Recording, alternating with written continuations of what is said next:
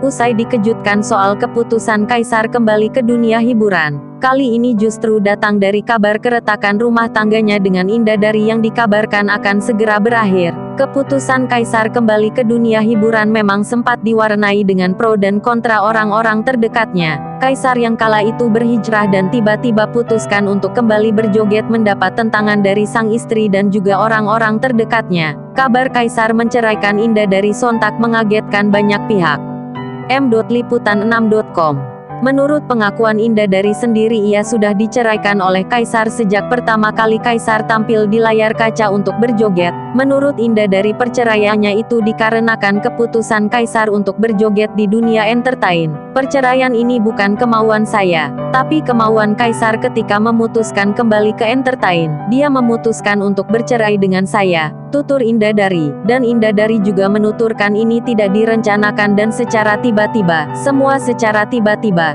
kadang saya berharap ini mimpi. Tapi ternyata nyata, yang jelas bukan karena masalah ekonomi atau masalah rumah tangga, semua baik-baik saja, tutur Indah Dari.